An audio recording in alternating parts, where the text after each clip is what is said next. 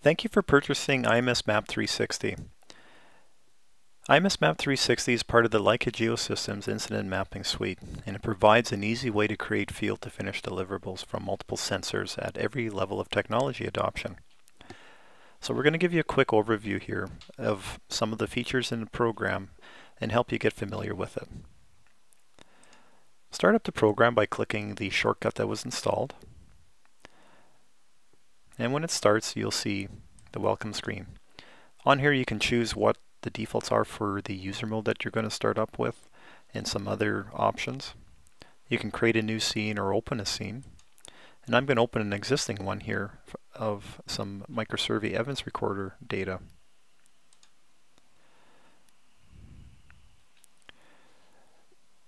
The interface in IMS Map 360 is a ribbon and you've got four options on that ribbon. On the Home tab, you'll find Display Options. The Import Export is where you would import or export data into or out of the program. The Draw tab has all the drawing functionality. And the Analysis tab is where you can do some dimensioning and query objects, look at your uh, evidence log, do some trajectory cone or bullet path reconstruction uh, uh, functions. This little blue icon here in the bottom corner, this is your workspaces. You can use sketch mode, which you'll use most of the time, or you can switch to an advanced mode, which will load a command line and more advanced functions on the ribbon, and you'll see there's a lot more options available to you now.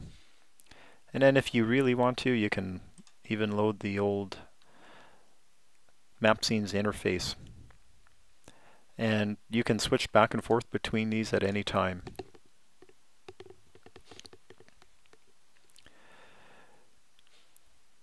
If we go to the Draw tab, I want to turn off some of these layers in my drawing. I'm going to pull down the, the list here and I'm going to click on these icons right here to turn them to snowflakes. And what that'll do is it just turns off the text. I could do this with a multiple, uh, like selecting multiple layers at the same time if I needed to, using the layer manager. But for now I'm just going to do it individually. I want to place a symbol in here, and I'm just going to use a recent one here that I inserted, and I'm going to place that roughly in this location here.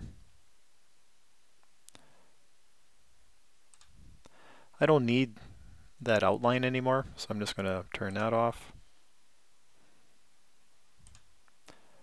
And I'm just going to turn that layer off as well.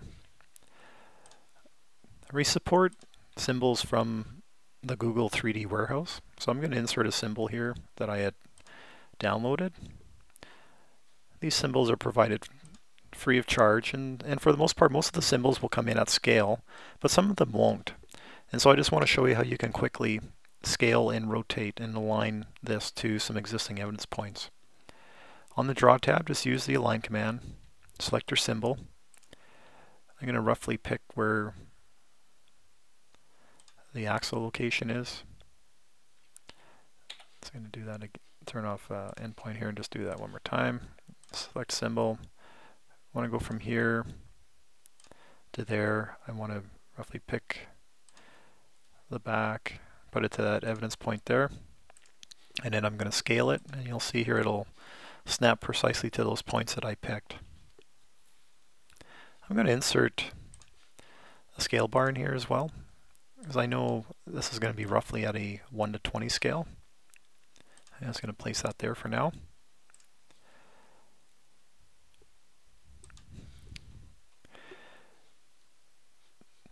Any of these CAD entities you see in a drawing, you can snap to them. So these are your snaps here.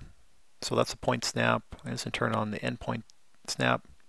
If I wanted to maybe connect these lines here and I want to put them on this layer, I can just select the layer, turn the line command on, and just snap precisely to those points, just like that. If you click on a line, these little blue markers are called grips. that lets you extend or shrink the line if you if you need to. You can move the line out, you can delete it, you can rotate it, move it if you need to, make a copy very easily just by using grips. Now let's look at the finished drawing wizard. When you click on here, we have some predefined templates that ship with the program, but you can certainly create your own templates. And inside these templates, there's viewports.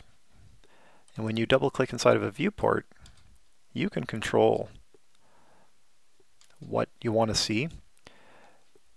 For this wireframe here for uh, that symbol, I want to make that look more realistic, so I'm just going to set it to realistic mode, and you'll see that's shaded now. My scale bar here, I can move that to the side, and then just double click to the outside to close that viewport. And double click in this viewport. You can double middle click your mouse to do a zoom extends, or on the home tab just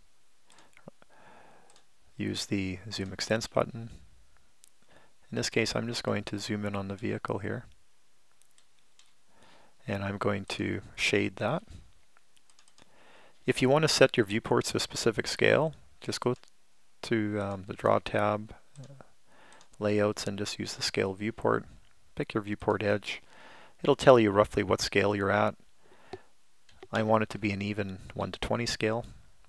So now this scale port is precisely scaled to 1 to 20. You can repeat that command and just pick your other viewport. And I'm going to set that to 1 to 10. You can zoom in here, double click your text, set it to 1 to 10. You can place that wherever you need it to be. And any of this text here can be edited easily. You can also place images directly in here, do, uh, do some dimensioning if you need to. Um, usually you'll do the dimensioning from this view here. You just go to the Analysis tab. And it's quite quite simple. Just I'm going to use an align dimension, and maybe you wanted to dimension the length of this line.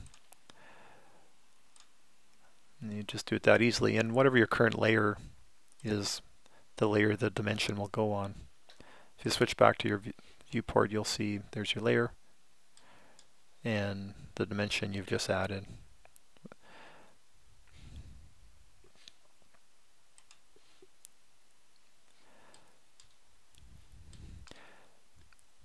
If you want to import a point cloud, I'm just going to show you how to do that quickly.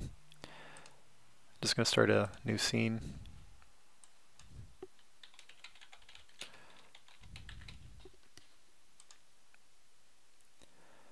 It's quite simple. Let's go to the import menu.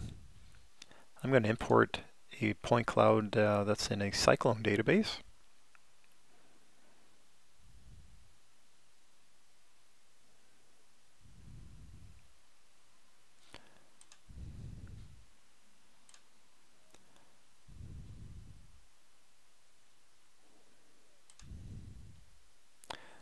I want to import this one here.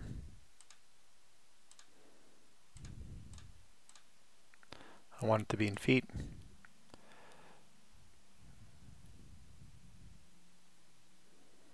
And when you do that, you'll see there's your point cloud. All of these point cloud points, again, you can just go to the draw menu. You can digitize or draw right on top of that point cloud. When you go to your your scene wizard or your drawing wizard, you can zoom in there too and have your point cloud immediately visible within your viewport. And that's the general overview of IMS Map 360. Thank you for using it, and please watch some of the other training movies to learn how to use the other features in the program.